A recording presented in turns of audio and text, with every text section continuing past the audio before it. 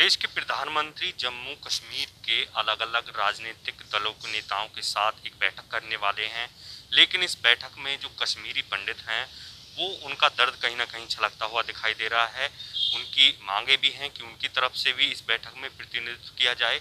क्या कुछ मांगे हैं? हमारे साथ कश्मीर से जो विस्थापित जो लोग हुए थे, जो पंडित हैं वहाँ के, उनसे बात कर लेते हैं। सर बैठक हो रही है। अहम बैठक है। दो साल बाद तीन सौ सत्तर हटाने के बाद।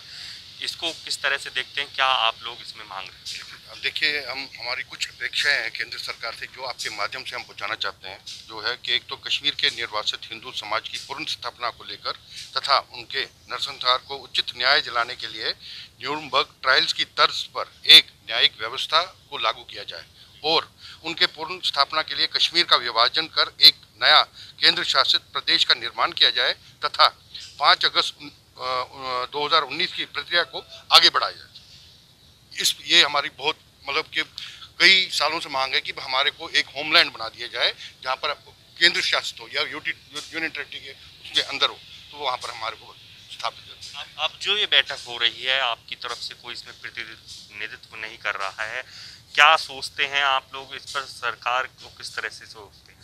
देखिए, हम सरकार से सिर्फ़ अपेक्षा कर सकते we can expect that is why we can expect only इसी सरकार से कर सकते सो कॉल लिबरल सरकार से नहीं कर सकते क्योंकि उनका राग पाकिस्तान है। लेकिन क्योंकि हम विस्थापित हैं, हमारी रिप्रेजेंटेशन नहीं है, हमारी प्रॉब्लम्स क्या है, वो उनको देखना पड़ेगा। अगर वो वहाँ पे पॉलिटिकल रेस्टोरेशन कर रहे हैं पॉलिटिकल इनिशिएटिव्स ले रहे हैं, लेकिन हमारे बिना कैसे ले लेंगे? हमारा भी तो कोई वहाँ पे रिप्रेजेंटेशन होना चाहिए। हमारे पर तो स्टेक है वहाँ पे। हम ये नहीं बोल रहे कि आप मत शुरू करो। आप शुरू करो। लेकिन हमारे को साथ में लेके चलो। हमारी जो प्रॉब्लम्स है, उनको सुनो। उनको सुनो पता है सब कुछ इनको। पीछे जो जब 370 हटाया गया, तब भी ये उन्होंने बोला कि हम कश्मीर पंडित को वापस लेके जाएँगे। हम बोल रहे, बिल्कुल लेके जाओ। हमारी एक ही डिमांड है कि हमारे को land within the land दे दो।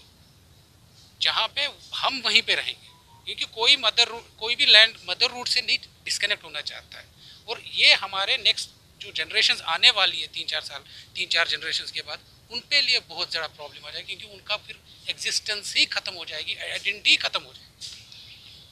फारूक अब्दुल्ला है चाहे महबूबा मुफ्ती है। ये लोग मीटिंग में है क्या लगता है कि आप की बात पर चर्चा हो नहीं वो तो देखो हमारे हमारी बातों पे चर्चा होगी कि नहीं, वो दूसरा क्वेश्चन है। लेकिन हमारा सबसे पहले जिन लोगों ने वहाँ पे रचा, जैसे फारूक अब्दुल्ला कराने वाला कौन है? वही तो दो है।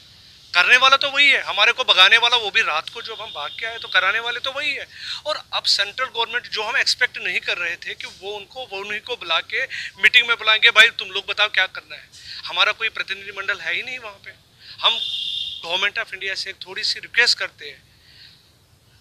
आहत दिल से कि हमारे किसी प्रतिनिधि मंडल को वहाँ बुला के जो इसमें फाइनल करे हमारे प्रतिनिधि को बुला के वहाँ पे देख ले कि हमारे इसका मतलब है हमारे में किसी जैसे कश्मीरी पंडित से हमारी कोई वजूद ही नहीं है वहाँ पे।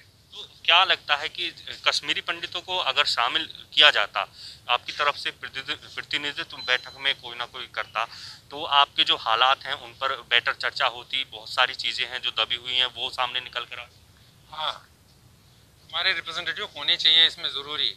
कश्मीर हमारे बगैर इनकम्प्लीट है। कश्मीरी पंडित पहले कश्मीर कश्मीरी पंडितों का था। अब उल्टा हो गया। जब भी कोई वार्तालाप होगा तो उसमें कश्मीरी पंडित पहले होना चाहिए, सबसे पहले। उसके उसके बाद उनकी नंबर आता है। देखिए, केंद्र सरकार की जो बैठक है, ये काफ़ी अहम रहने वाली है, लेकिन इस बैठक में कहीं ना कहीं जो कश्मीरी हिंदू हैं, जो विस्थापित हुए थे लाखों परिवार, उनका दर्द भी सामने निकल कर आ रहा है और ये दर्द भी लाजमी है कि वो लोग चाहते हैं कि इस बैठक में उनकी तरफ़ से भी प्रतिनिधित्व करने वाला होना चाहिए, ताकि जो दुख उन्होंने झेले हैं, उन पर चर्चा हो सके। फरीदाबाद से ई भारत के लिए मैं रुस्तम जाकर